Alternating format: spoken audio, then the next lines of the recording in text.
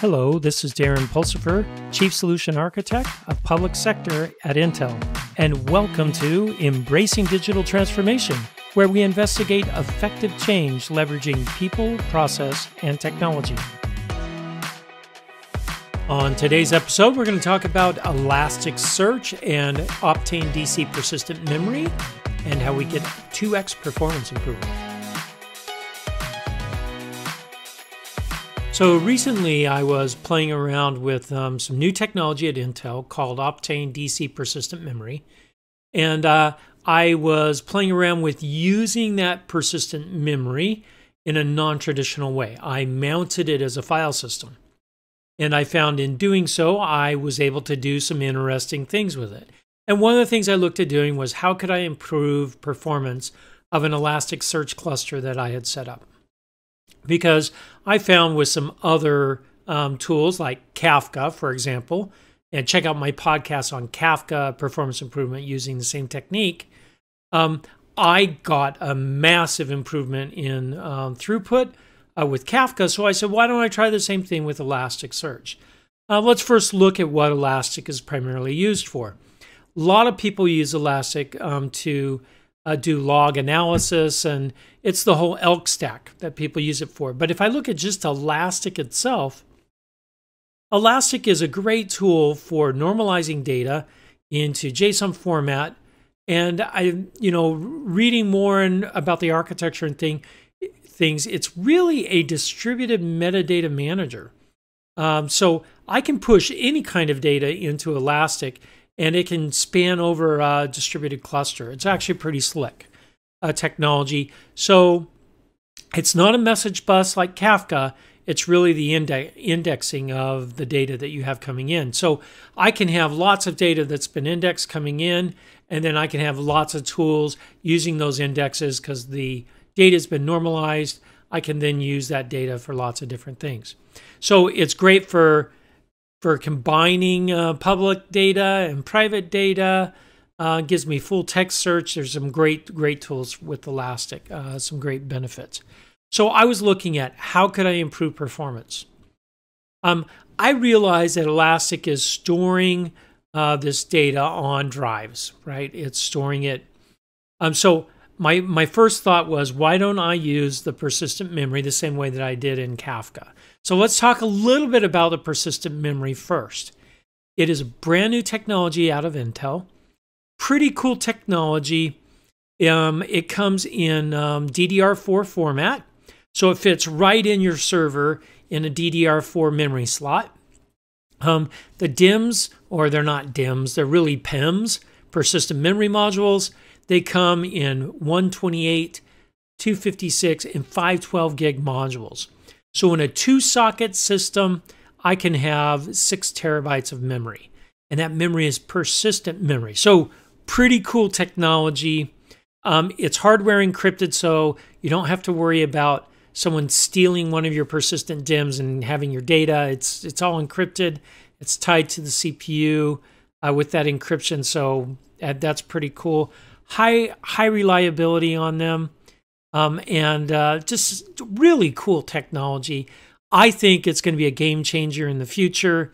Uh, right now, it's already making some profound changes um, in uh, the way it's being used in tools um, in a lot of databases, like Oracle's starting to use it in their Exadata platform, as well as uh, SAP HANA, for example.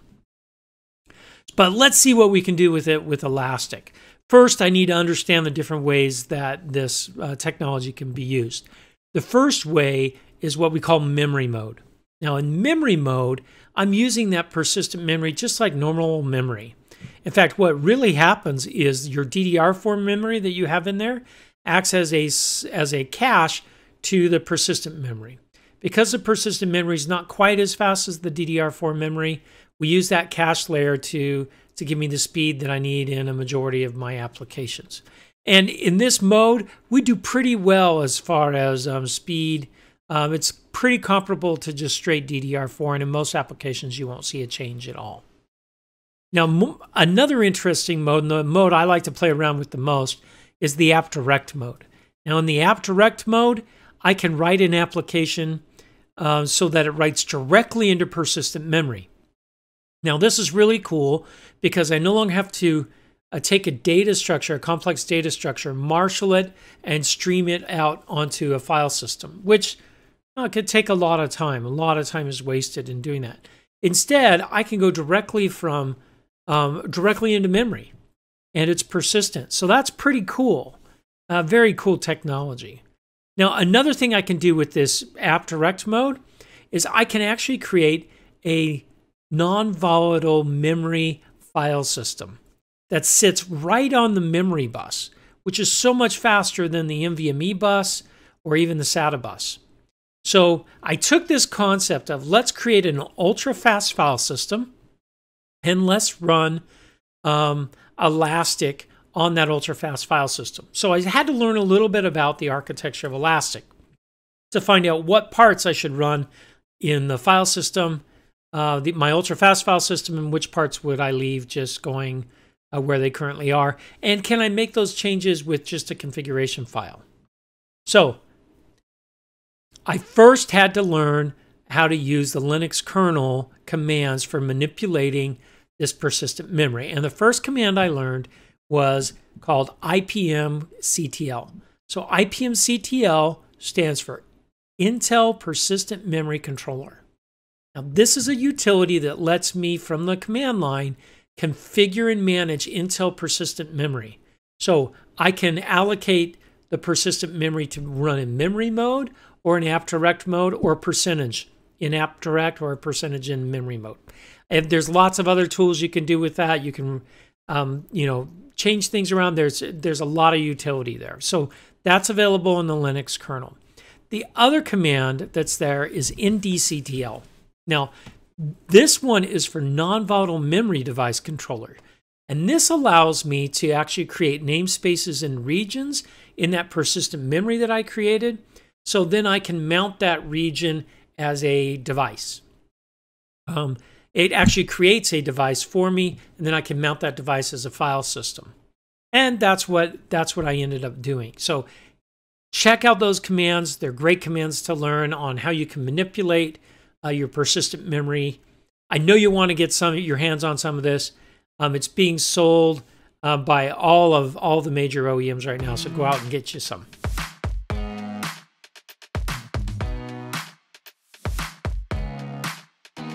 All right, so let's take a look at um, performance testing of um, Elastic. So I went out there and searched all over the place. I found Elasticsearch Rally great benchmark tool that we can use um, to try things. And it, it the benchmarks are pretty cool. They they all go around the racing uh, type of uh, mentality where I've got distributions of Elastic, I've got races, I've got data, teams, and tracks that I run uh, the, uh, my races on. So I can test lots of different things. So I wanted to make sure that I had um, Rally set up um, also, it had logs and all that stuff. So the first time I set it up, I was running ES Rally from my normal SATA drive, and Elastic was running everything, everything in uh, the PMEM drive. And I got some performance improvement. But what I found really quick was because I was streaming data off the SATA drive that was stored in my ES Rally, all these data files, I was limited by how fast I could push data into Elasticsearch. So it wasn't Elastic that was slowing down, it was ES Rally that was slowing me down because my SATA drive was so much um, slower than my PMEM drive. So what I did was I moved ES Rally onto the PMEM drive. Um, and that improved uh, my performance, and I got some really interesting test results. So, one of the things I, I looked at was I wanted to see what the effects of this PMEM ultra-fast drive would be on Elastic. So I didn't um, run Elastic in a cluster because I wanted to cut out the network variability. I wanted to find where the bottleneck was and to see if this drive would would improve that bottleneck of the drive, right? Of storing things persistently. So by removing network variability, I got rid of that. I also decreased inter-service communication by getting rid of replicas. And I moved all the storage and queries were all running on the persistent memory drives because I found that I wanted to get rid of the variability of the SATA drive, so I just went with that. Now, if I was running a full blown production test, it would be very different. I'd have different machines running over network, and I would quickly find that my network would probably be my bottleneck if I could get the drive running fast enough. So that's what I wanted to try. I wanted to take all that variability out. So let's uh, take a look at um, how I how I managed to move forward. First off, I allocated all of my persistent memory um, to be um, um, app direct mode, so I can mount the whole thing as a file system. Now, I did this because first off, I wanted all of that um, drive space, and in this in this uh, instance, I used 128 gig DIMMs, so I had 1.5 terabytes of uh, drive that I could use. Now, I also know from previous tests that I run with Kafka, I get better performance if I allocate all my PMEM as um, app direct mode and that I'm only writing to that area. Um, instead of it being split, I found I get a better performance with 100% app direct mode. So I even skipped the 50% app direct mode. I went right to 100% app direct mode um, better performance and more space for me to store these elastic ind indices. So let's talk about throughput. So ES Rally does a pretty good job at all these different um, statistics. So I took the median throughput on documents per second compared to the number of um, concurrent uh, races I was running at the same time. So this would be concurrent number of producers and consumers of data um, running through the system. So these are a number of races that I'm doing. So if you look at these numbers, I can see with my SATA drive, um, I got a very simple. I got some very good numbers, right? And these numbers were comparable to what I saw out there that other people had published. So I knew I was running the test right and all that. With my PMEM drive, I was able to ingest almost twice as many documents per second. Now, this is pretty incredible when you think about it. No changes to code, just a configuration change. Basically, it's just where where are you putting your Elastic um, index files, right? And any other files that it has were all stored in the files in the ultrafast file system. So pretty cool improvement. Um, these documents double the speed uh, right off the bat. Another thing that we saw was response times to functions. So if I look at server response time, lower is better here, then I quickly saw that as and what you would expect as the number of uh, concurrent races running at the same time as those increase, the, the re response time to those uh, queries or functions uh, would would uh, would go up, and that's what we see. But if you look again, almost twice as fast in response time with the PMEM. So from this simple test, we learned that the PMEM does have an effect where you are storing um, that persistence that Elastic needs where that's being stored does have an effect on its speed. So using PMEM in this instance uh, was much better than your typical SATA drive. So if you want any additional information, I can send you um, how I did it. There's a great paper out there.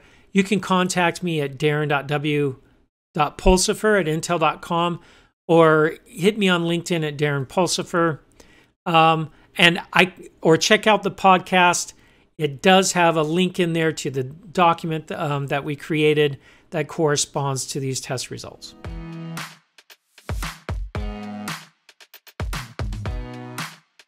Thanks for listening to Embracing Digital Transformation today. If you liked our episode, go ahead and give us five stars on your favorite podcast or video streaming site. You can also find out more on embracingdigital.com. Until next time, Keep moving forward and embrace the digital revolution.